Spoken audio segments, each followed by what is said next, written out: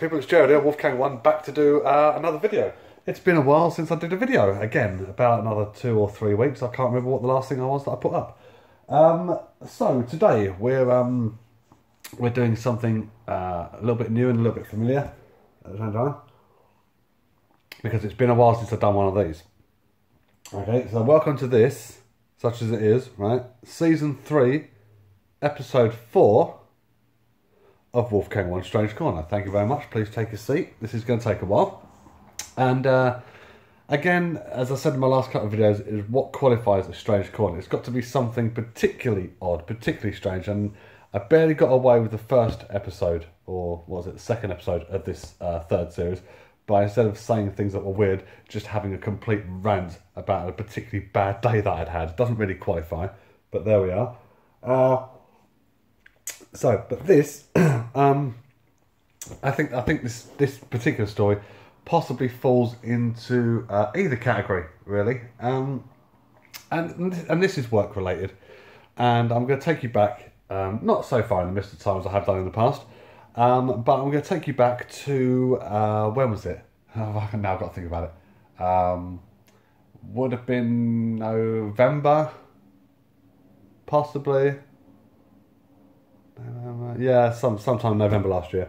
Uh, um, as you all are painfully, painfully aware, I work in supported housing um, in the homeless sector, and uh, from the twentieth of September two thousand sixteen to the I think the twenty something or whatever um, of November two thousand eighteen, um, I was.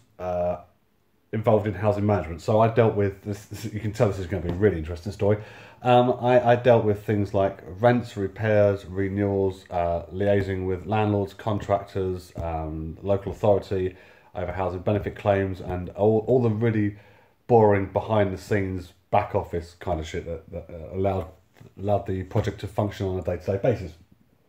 On occasion, I have also run the place in the absence of any kind of management or anything like that, and only because I've been there for like the last 150 years, and I know the place like the like the back of my uh, back of my hand, which believe me, I know very, very well. And um, I went from support worker to housing management worker because management at the time sussed out that I was getting more and more pissed off with support work, and my general cheery attitude just wasn't cutting it anymore. Um, so I, I, went into housing, and one of the first things I did as housing management worker was evict two fucking idiots um, via bailiff for a combined total of thirteen and a half thousand pound rent arrears. That was a fucking good day, ladies and gentlemen, because I had that coming. Anyway, I do this job. I do this job for about two years, and you know I'm, I'm a hell of a lot better than I was ever was a support worker. And then the powers that be decided that they were going to have uh, a restructure of the um, of the services. And they had four housing management workers and they got rid of one uh, for massive, massive misconduct issues. Um, but then again, he was also a massive dickhead, right? Uh, so they're down to three ma- housing management workers uh, for four clusters. And my building, because it has the highest number of rooms, counted as its own separate cluster. Um, so they've got three housing management workers. So they're doing this big restructure, and um, they decided what they wanted was instead two housing management workers uh, for the 150 odd beds that they run in, in the area. Um, and as I was on secondment and not a full time position, my job was coming to an end and they were going to put me back to being a support worker. And I argued the case that, you know, I've been in the role for two years. You would think, really, that it's no longer a case of being on secondment. Uh, that is actually my job role. Um, they disagreed because uh, my company um, are fucking useless. And um, they're going to put me back down to being a support worker with all the uh, rights and responsibilities thereof, which basically involved a grand and a half pay cut, which they saw nothing wrong with. Um, so I, I, was looking at my options and I decided to apply for a new role that they were creating of the senior worker. The senior worker is basically uh, a support worker with more responsibility and uh, a little bit more pay, but not much. So I thought, all right, I'll go for that. And um, I didn't get it. I had my interview and I didn't get it. Um, and then we had a we had a team meeting, and the manager at the time, who was this she's a nice enough woman outside of the office environment, but inside the office environment, she doesn't listen to a word you say. She's a fucking plum. Um, bless her. And uh, we had a team meeting and they decided who's going to be the uh, the senior worker. And in this one particular team meeting, they uh, everybody's mouth literally hit the fucking desk when she turned around and said, uh, we, "We've selected the uh, the uh, senior workers by one who's been successful. Uh, those who have been uh, successful have been notified." Uh, she said, "Gerard went for the position, um, but he was unsuccessful. But then again, he didn't want it anyway, so it doesn't matter." And everybody went into a bit of a stunned silence. And I turned around to her and I said, "You what, love?" And she said, "Well, I'm not. I'm not going to retract that statement. Your your interview was very poor, and you wasn't trying." I was like, right, okay. I said, so it wouldn't have anything to do with the fact that um, I worked eight days on the trot because you couldn't be able to find cover for your project. I said, and when the day that I had my interview was my ninth day out of a rotated 13, I said, and I was tired. It had nothing to do with that at all. It has everything to do with the fact that um, I've decided to waste my and everybody else's time by actually applying and going for the interview. I said, fair enough, fine. Now, what I could have done at that stage was um, made a complaint to HR um, and had it done for um, uh, what do they call it? Institutional bullying. Um, I couldn't be bothered to put the effort in, um, and it's a shame because a couple of weeks before that, we had to fill out a staff survey, uh, and one of the staff surveys was uh, one of the questions was, "Have you come across any uh, institutional bullying in your job?" And at the time, rightly so, I put down no. I thought if that fucking survey had come out just a couple of weeks after, I'd have put down absolutely I have done. But that's a totally separate thing. It's not important. So, um, so they're still going to put me down to being a uh, a support worker. And then the same job came up again uh, in a different area of London, in, in North London. And the North London version of the role was paying, uh, what was it? Five grand more than what I was getting. Um, because obviously North London local authorities pay more for their uh, support housing services than uh, South London does, but there we are. And so I applied for it, and uh, I went down for the interview. And the interview wasn't a series of questions like, uh, "How would you prioritise your workload when you've got like three apples and one of them is a tomato and the place is on fire?" and that sort of shit. Because that sort of shit is just ridiculous. My interview mostly consisted of. Uh, what's your current experience? What's your past experience? Um, and why do you want the job? And when it came to that last question, I said because I want to get out of my local place uh, because it's doing my head in. And instead of asking all these really ridiculous questions, they turned around and said, "We'd like to offer you the job." I said, "Well, I'd like to take it. That works out pretty well for everyone, doesn't it?" So I took this job as senior worker on five grand a year more than what I'm getting. Six months to comment, um, but I was taking over from somebody who uh, was uh, on long term sick, and I was told at the time um, it's really, really long term sick. Uh, chances are they're not coming back. This secondment role is probably going to go permanent. So I was like, okay. I said, well, let's see what happens. And uh, by saying that one simple thing, I can't help it. That was me subconsciously hammering the nail into the coffin of my own career. Um, so I, I, started off as, as a senior worker for this, for this new team, um, with all the rights and responsibilities thereof. And it did not go according to plan, ladies and gentlemen. Let's be honest with that. Um, I was going into a team that was already quite closely, well, close knit, and they work really well together. You can't take that away from them, really. What you can take away from them is the fact that there were a few undesirable elements, i.e., the housing management worker who knew nothing about housing management and wasn't interested in doing anything remotely connected to housing management.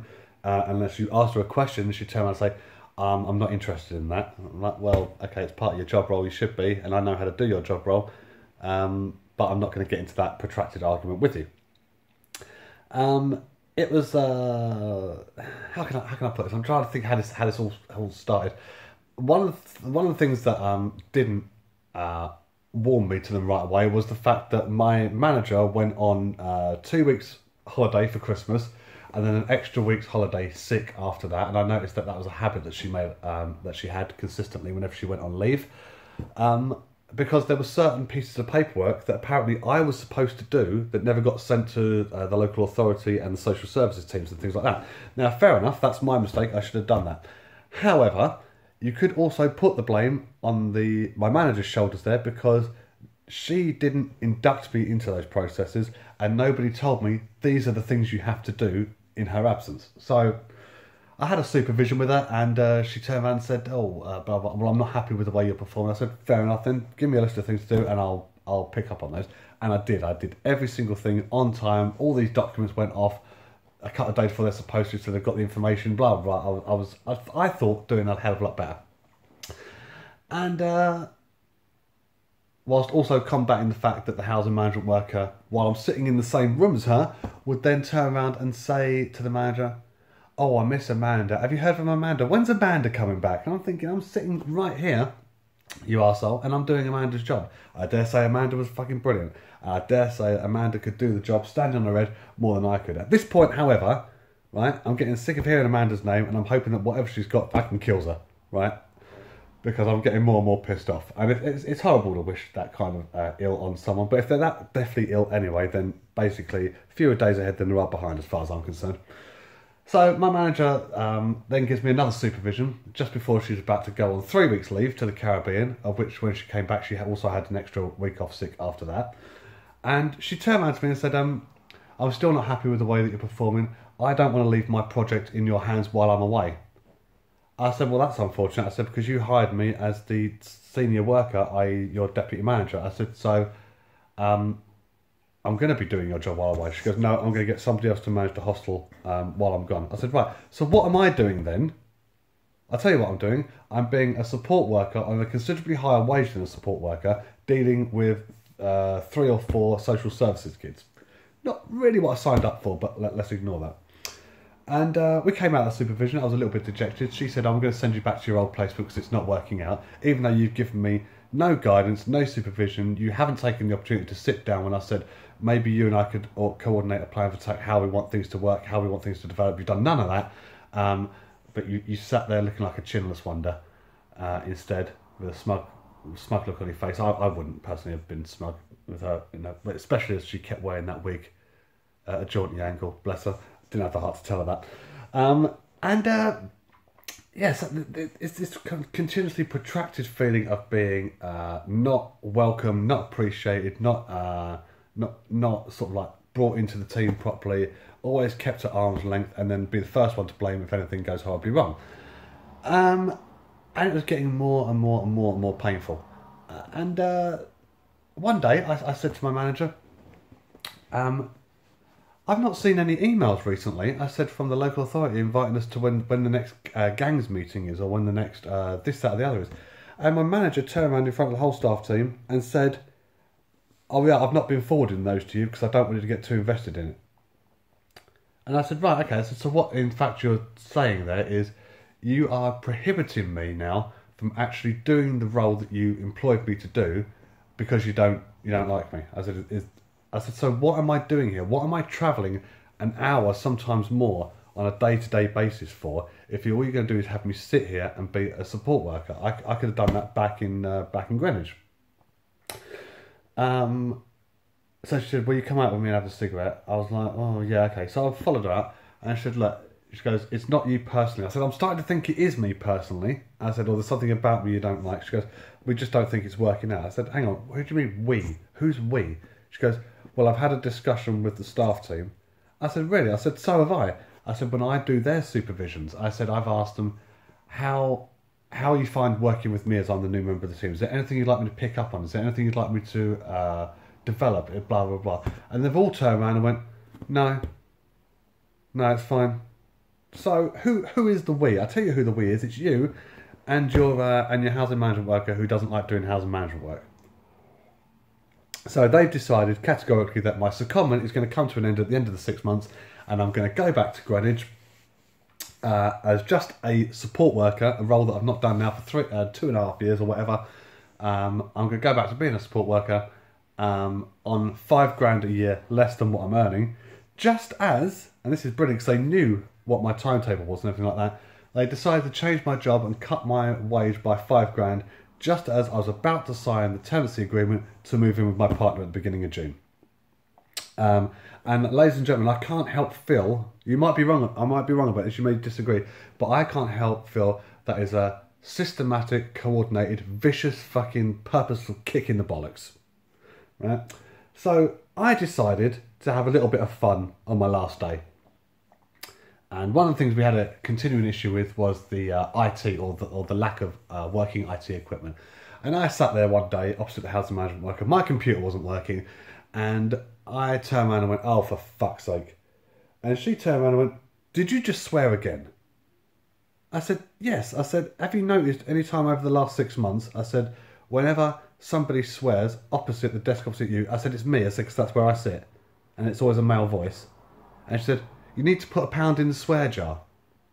I went, "What? That that swear jar that you just made up?" I said, "To try and con some money out of me." I said, "No." I said, "I'm not doing that." And she goes, "You need to put a pound in the swear jar." I went, "Oh fuck that." And she went, Are you doing this on purpose? I went, Yes, I'm doing this on purpose. Of course, I'm doing this on purpose. I said, Look, I tell you what, here's a penny. And she went, No, no, it, it's a pound. It's a pound. I said, Well, if you look after the pennies, the pounds take care of themselves, don't they? I said, After a while, you'll have enough to buy a whisper. And uh, she said, uh, Because obviously she was, she was, a, she was a, a God fearing woman uh, with little to no sense of humour. Um, she turned around and said, Well, maybe you need divine intervention. I said, Yeah. I said, I'm 39 years old. I said, I think I'm a little bit long in the tooth for divine intervention. I said, I think if anything, I said, that would have come when I really needed it. I said, back when I was a teenager and got myself into a very stupid situation. I said, or maybe all the times I got the shit kicked out of me at school. I said, at a Catholic school, I said, where weirdly enough there was no evidence of divine intervention. I said, um, I said, what about you? I said, I mean, do you never, uh, I said, do you never get yourself into a bit of a pickle at work or get so frustrated where you feel you need divine intervention? And no word of a lie, this woman, bless her, turned around and said, I do not need divine intervention. I'm an instrument of God. I said, an instrument of God. I said, an, an instrument, uh, something that, that can be used to fulfill a purpose. I said, uh, uh, oh, I said, uh, a bit like a tool then. And she turned around and went, that's right, I'm a tool. And I went, yeah, yeah, you are, yeah, brilliant. And uh, I didn't really have to work for that one. I didn't really have to set it up in any particular way. Just, I was just lucky enough that the fact that the conversation flowed so beautifully me to trap her into saying something absolutely derogatory about herself without her realising it. As I said, no sense of humour. So I walked out of there on my last day, um, smug as fucking assholes, which was which was brilliant. Which sadly enough was cruelly taken away from me the following day when I went back to my old scheme, uh, and then uh, yeah ended up being a support worker again. Interestingly enough, on that role, I actually applied to be the senior worker again in Greenwich. Didn't even get an interview that time. Um, and the woman that I was taking over from, uh, turned out that she's the one who won the role of the senior worker, and she'd only been there properly as a member of staff for a week. And it transpires from my colleagues that when I spoke to them, um, that she's absolutely beyond fucking useless as, a support worker, and yet somehow they gave her the senior worker role. And by the staff team's own admission, they must have been scraping the bottom of a particularly empty barrel to give her the role of uh, senior worker. So that made me feel better about myself. Um, yeah, and there was one other thing I wanted to tell you about this whole Concocted story. And uh, oh yes, just as I'm getting ready to leave North London and travel back to South London for a role that I have no interest in, I still don't have any interest in weirdly enough. Um, the staff team was already down anyway. There was down a couple of members of staff that they never recruited for, and then I'm about to leave, and I gave my manager the option. I said, "Look, I said you're understaffed as it is. I said you can always uh, extend this comment if you want." She ignored that. Um, she granted uh, three weeks leave to one of the support workers because uh, because a religious uh, sort of festival thing they were just coming out of, and they wanted some time off um, which was fine. And 20 minutes after she uh, granted this leave to this gentleman, um, we realised that one of the other support workers hasn't turned up and no one can get hold of them on their phone. Everyone's panicking a little bit. So after an hour or so, uh, they uh, they managed to get hold of this woman. They said, "Where are you?" And she went, "I'm in Jamaica." And they went, "What are you doing in Jamaica?" She went, "Oh, I had a family emergency, uh, and I and I just had to leave." And they went, "All right, how long are you going to be gone for?" She went, I don't know, three, maybe four weeks, I'm not sure yet. Um, which everybody knew of the family emergency. They thought perhaps her mum might be on the way out, but that's been going on for months. Um, and she kept saying, "Well, I might need to book leave soon. I might need to book leave soon for Jamaica." Blah blah. And the manager, quite rightly so, turned around and said, um, "Just let us know when that is, and we can arrange it." And she didn't. And I said, "Oh, I said I'd be very surprised if the poor girl has a job for four weeks' time." And a couple of hours later, my manager turned around to me and said, um, realised that she's now going to be about three or four people down, turned around to me and said, um, oh, you, you will be missed here, you know, you'll be very much missed. I said, really? I said, because I was under the impression, I said, the impression that you gave me over the course of the last four very, very torturous and painful, long drawn out months, I said that if there was one thing that I would not be in this project, I said, is missed by anyone or anything. I said, so thank you, uh, thank you for the words of encouragement. I said, th- uh, thank you for uh, the genuine heartfelt statement you just made. I said, but I, I, I'm, I'm not, I'm still not entirely convinced. You should, oh no, no, you, you've, uh, you've made friends here in the staff team. You'll have to let us know how you get on in Greenwich. I went, yeah. I said, I'm sure, I'm sure that will uh, brighten your day up, you know, massively. So, I, I guess, I guess the moral of this story is, uh, I, I, I guess, really, it all boils down to the fact that I've, I've because I much prefer being uh, on a permanent contract as opposed to like sort of temporary or temporary to permanent, anything like that. I've I've continuously shot myself in the foot over the course of the last few years by uh, not taking the initiative and getting another job um, because it's a lot easier to stay somewhere where I have a permanent contract. Even though time and time again I have been bent over and viciously fisted by uh, my company, who thankfully no longer run my project. It's somebody else now. So I dare say there will be. Uh, a whole new um, corporate fisting program being initiated by them. We, sh- we shall see how that works out. Um, so, ladies and gentlemen, welcome. Uh, thank you very much for watching this, such as it was. I'm not entirely sure how entertaining this was. Um, season three, episode four of WolfKang One Strange Corner. Um, I just thought I'd get this out there because I've had people come up to me at the convention saying, "When you put out another Strange Corner?" Well, here it is. It's probably not my best, but there, enjoy it. Um, I will be back at some point soon with a review and some other shit that I'm doing. Um, I'm still working on that bloody comic. Hit a bit of a snag with that, but I'm trying. Um, it will basically happen when it happens. So um, yeah, that's basically the way that I treat all my videos these days. So thanks very much for watching this. I'll be back at some point soon. As always, you've been lovely and tolerant, and uh, I'll speak to you all soon. Until then, take care.